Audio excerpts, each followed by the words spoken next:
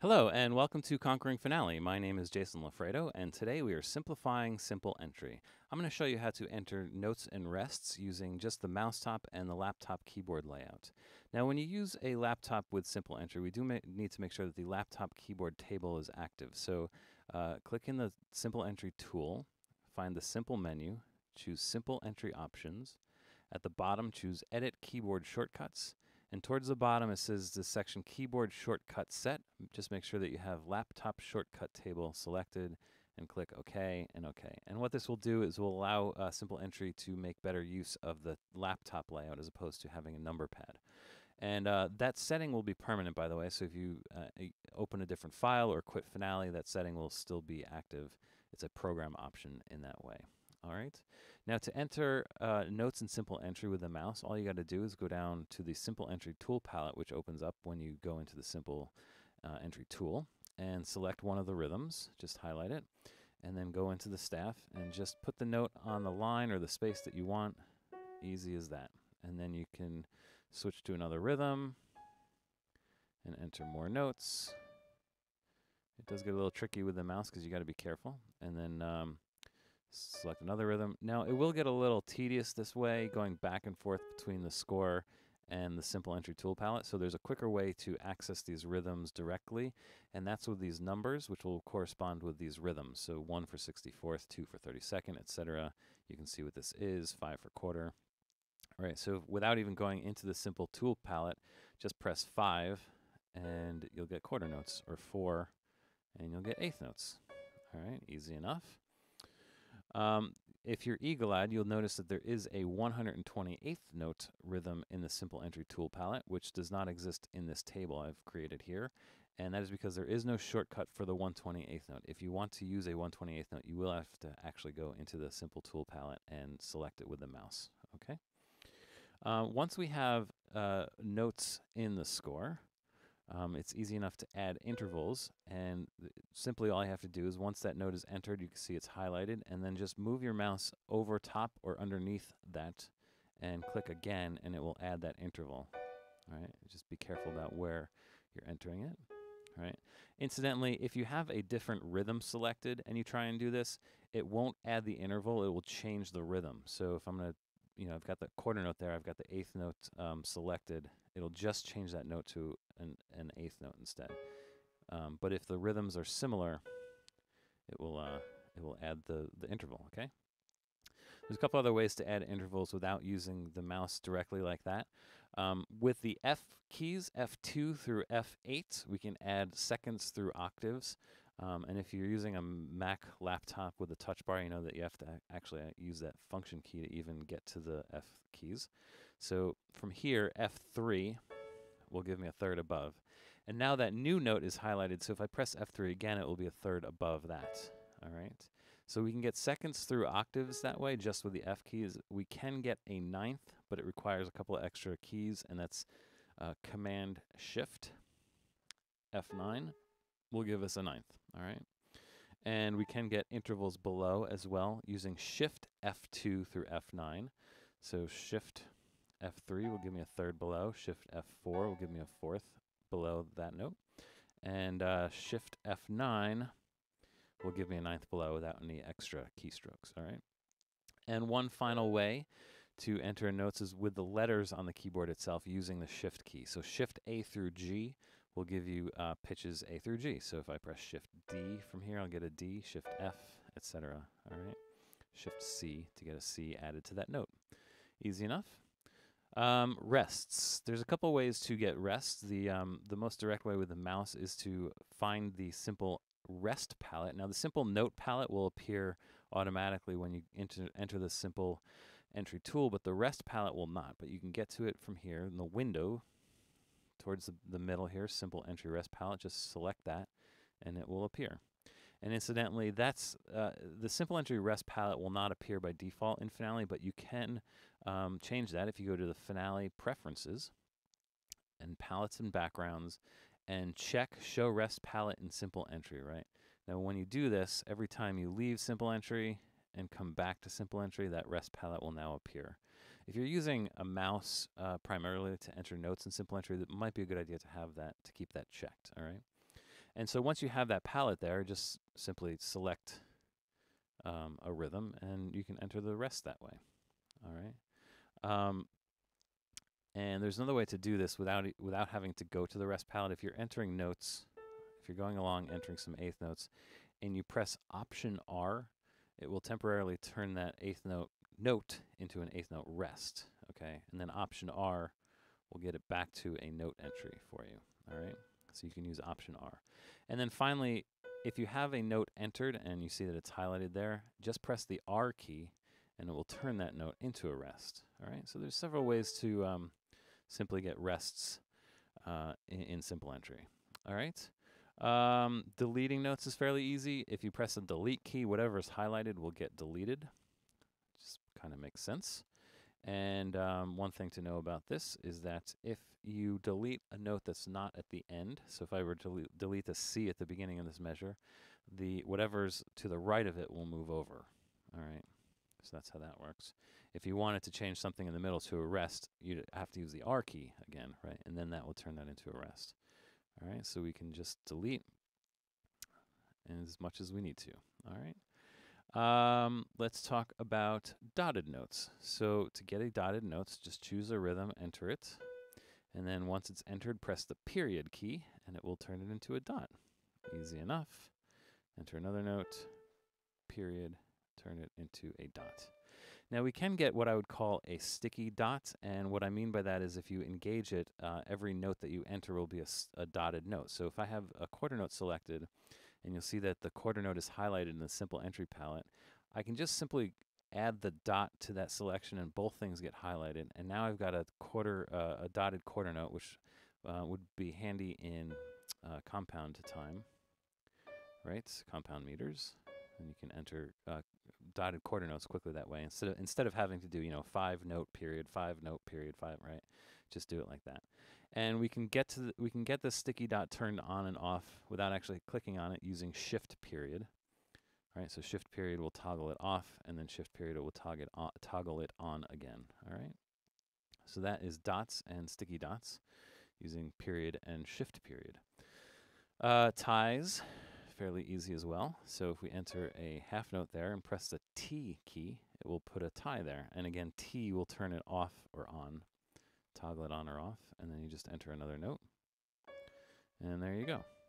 Now, if you happen to uh, enter a couple notes and you forgot to, to tie before you entered the second note, you can tie backwards uh, from the highlighted note with Shift T.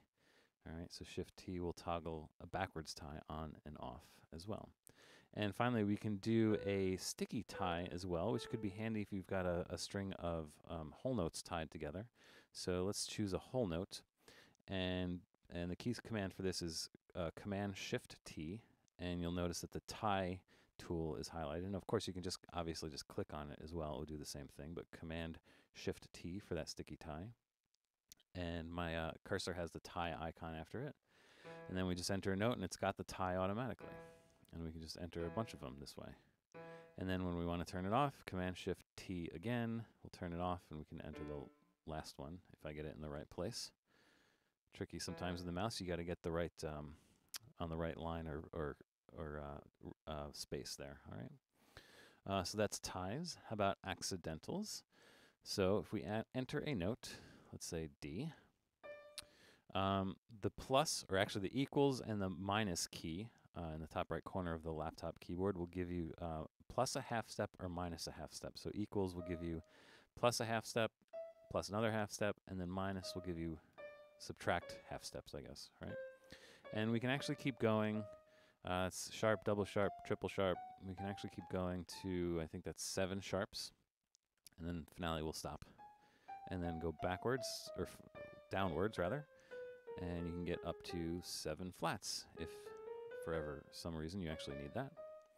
And if you have an accidental here and you want to turn that back into a D natural, you can simply use the N key, right? And it will change any accidental note to a natural. And if you have a note like a C sharp in the key signature, right, and press N, it will make it a C natural as well, all right? And we can do uh, some sticky accidentals as well. Um, sharps, sticky sharps and sticky flats will have a keystroke combination for it. So option equals will give you a sticky sharp. You can see that the sharp gets highlighted. And then from there you can enter sharps. And if you enter a C in this case, it's already in the key signature, so you won't see a sharp there. And then option minus will give you flats. Right. There is no shortcut for naturals, but we can just simply select it in the in the tool palette and get all naturals in this mm-hmm. way. And again, it will only put the naturals where it actually needs it. And then there's two other options here, plus half step and minus half step, which again, there's no keyboard shortcuts, but you can select it. And this will behave slightly different than, plus half will, will behave slightly different than sharps, for example, because, you know, you put an A sharp, it'll put a B sharp, but when it gets to C, because C sharp is in the key signature, it will give you a C double sharp because it's plus one half step from the where it should be in the key, right?